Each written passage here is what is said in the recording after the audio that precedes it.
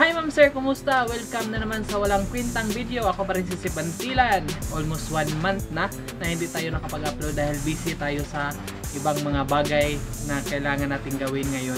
Di ba?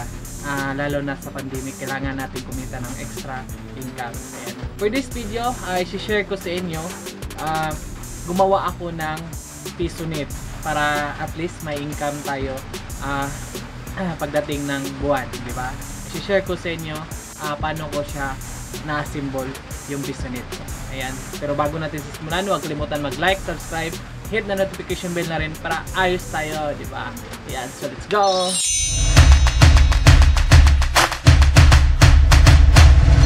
So, ayun ma'am sir. So, yung kailangan lang natin is yung siyempre yung computer natin. Itong computer ko is ah, nabili ko pa siya noong 2014 E4 DDR3 pinalitan ko lang ng memory 8 gig.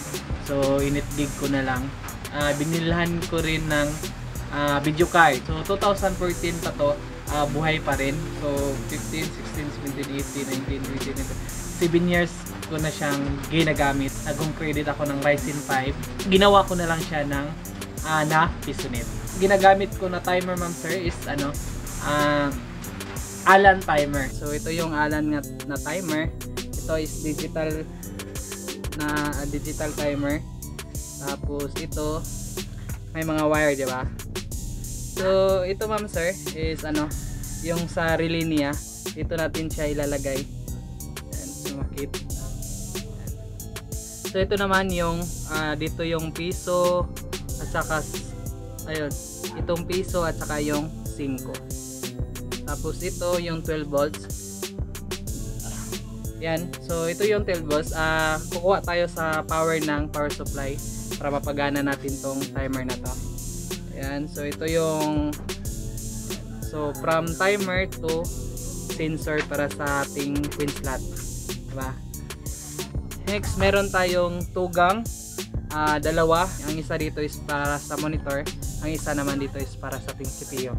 Ah, system unit. Here ma'am sir, so itong box ko is nabili ko sa halagang 700. So meron na siyang queen slot. Tapos ito yung lumang timer niya. Uh, may second relay pa siya na naka ano, naka wiring. So di ko alam kung paano to gagamitin. Yan. So yung dalawa yan ma'am sir.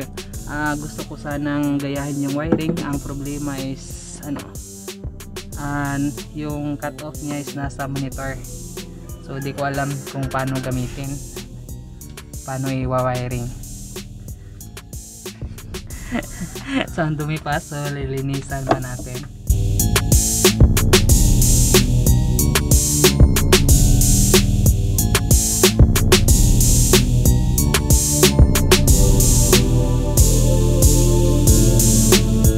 Hi ma'am sir, so ito yung cut off. Uh, itong para sa relay tapos ilalagay natin siya dito sa ating outlet para sa ating monitor. So ang isa ilalagay natin dito.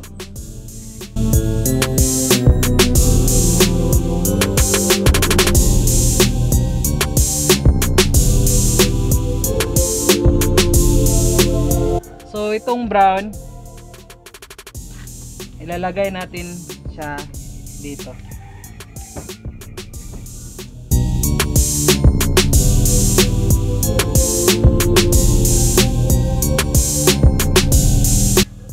ito naman ito namang black dito sa isa natin.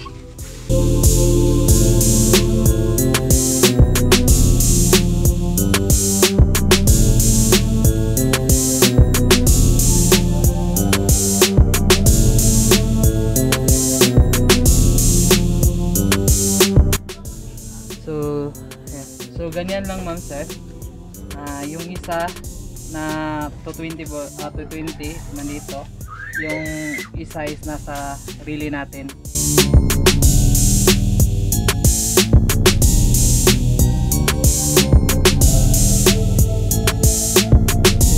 Ito na yung timer. So i-connect natin yung relay dito. Connection para sa relay. Tapos ito naman uh, para sa piso Ito naman para sa 5. So ito ma'am sir is ano yan, ah, receipt. In case na madami yung time, ah, pwede mo siyang i-reset. I, ano lang yung dalawa. Pag gamitan mo ng star screw. Tapos ito naman yung sa 12 volts. Ayan. Ayun. Yan. So, itong dito ma'am sir is pag ina-up mo yung 3 yan 5 minutes yan. So dito is 7 minutes. So i-up ko yung 3 at saka yung 2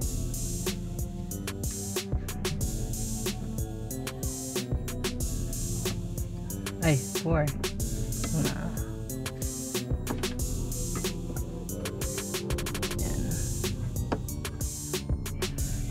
Ayan.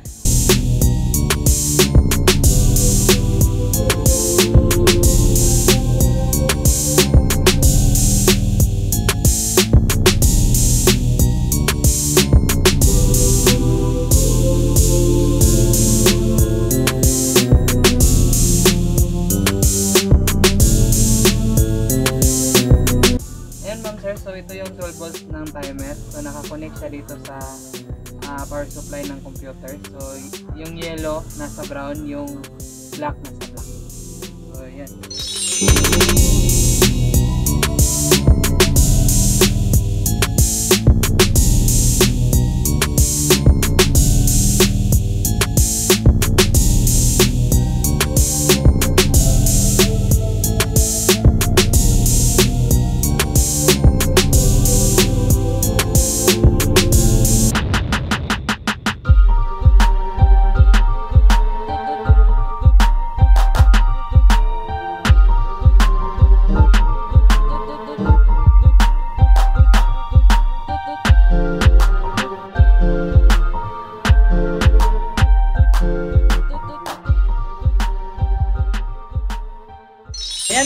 Lang ma'am sir. Yun lang yung ah, isi-share ko. Kaysa mag, mag-stock lang yung PC natin na hindi ginagamit. So, ginawa ko siyang pisonet para mapakinabangan.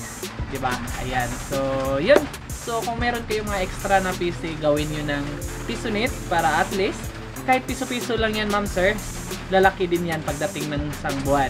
Maraming salamat sa lahat ng nanood at subscribe. Once again, ako pa rin si Sibantilan. Kita-kita ulit tayo sa sunod upload.